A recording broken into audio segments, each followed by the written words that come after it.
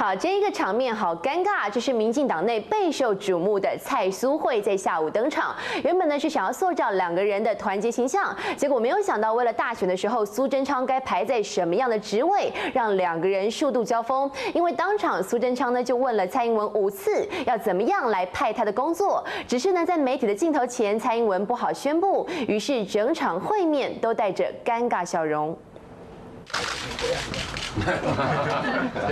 喝茶都战战兢兢，蔡英文这杯茶越喝越不对劲，因为蔬菜会前外界评点名苏贞昌担任立院龙头，或是小英竞选总干事，主人苏贞昌五次逼问要蔡英文把话讲明，有什么需要帮忙的地方就讲，不要客气。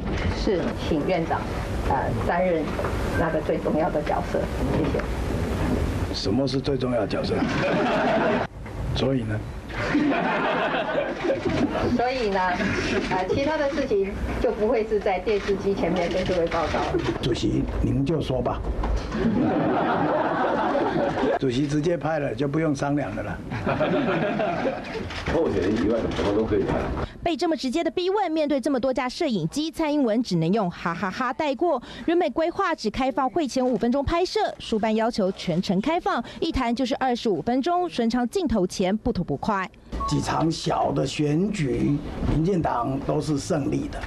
有时候胜利反而会减少检讨的机会，有时候胜利反而会自我感觉良好。顺畅的话语明显冲着蔡英文而来，在别人的地盘上，小英只能微笑保持风度。主席说不喜欢表演，到最后不忘酸蔡英文一下，让小英整场脸上挂的都是尴尬的笑容。外界期待已久的蔡苏会嗅不到团结的意味，蔡苏心结要融冰，看来还得经过一番努力。东新闻杨世仁、庄胜利 SNG 小组台北报道。